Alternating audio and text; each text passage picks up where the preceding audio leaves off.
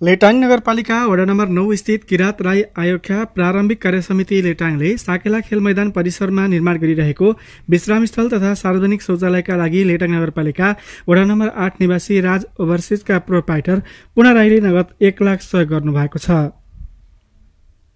राईले पठाएको उक्त रकम राईका काका राजबहादुर राईले निर्माण समितिका अध्यक्ष कमल राईलाई आज हस्तान्तरण गर्नुभयो।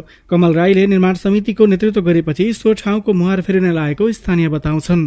निर्माण समितिका अध्यक्ष राईको सक्रियतामा साकेलाखेल मैदानमा निर्माण हुँदै गरेको विश्राम स्थल तथा शौचालयमा सहयोगी हातहरू पनि क्रमिक रूपमा आइरहेका छन्। पछिल्लो समय लेटाङ नगरपालिका वडा नम्बर आठका पुनः राईले एक लाख सहयोग गरेपछि निर्माण कार्यले अझ तीव्रता पाउने अध्यक्ष कमल राईले जानकारी दिनुभयो। विश्रामस्थल निर्माणका लागि लेटाङ नगरपालिकाले एक लाख बिस हजार वडा कार्यालयबाट पचास हजार सदाबहार सामुदायिक वनले एक लाख रुपियाँ सहयोग गरेको र करिब सात लाखको काम भइसकेको र अब करिब तीन लाख पचास हजार रकमले पहिलो योजनाका कामहरू सम्पन्न हुन सक्ने निर्माण समितिका अध्यक्ष राईले जानकारी दिनुभयो। यो चाहिँ अब खेल मैदान पनि परेको छ यसमा होइन? अनि किरात आँखाको मन्दिर पनि छ।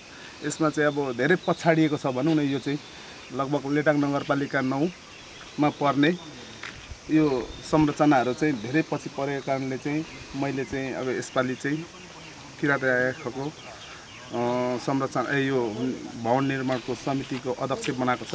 त्यसमा चाहिँ मलाई लेटाङ नगरपालिकाले एक लाख बिस अनि वडाकरणले पचास र यो हाम्रो सदाबार सामुदायिक वनले चाहिँ एक लाख र अन्य चाहिँ सहयोगीहरू चाहिँ विदेशबाट र गाउँहरूबाट र सङ्घ संस्था स्कुलहरूले पनि सहयोग गरेको छ।